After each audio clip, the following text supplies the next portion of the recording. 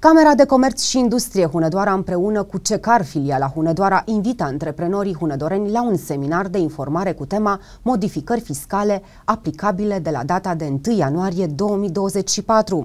Evenimentul va avea loc marți 23 ianuarie începând cu ora 11 la sediul Camerei de Comerț. Printre subiectele prezentate se numără modificările fiscale aplicabile atât pentru contribuabilii plătitori de impozit pe profit, cât și pe veniturile micro-întreprinderilor, impozitul pe venit și contribuțiile sociale. Un alt subiect privește modificările aferente contribuțiilor pentru veniturile realizate din activități independente și din chirii, dividende și așa mai departe. Se va vorbi despre ROE-factura, ROE-transport, ROE-sigiliu, dar se vor pune în discuție și alte subiecte propuse de participanți prin formularul de înscriere.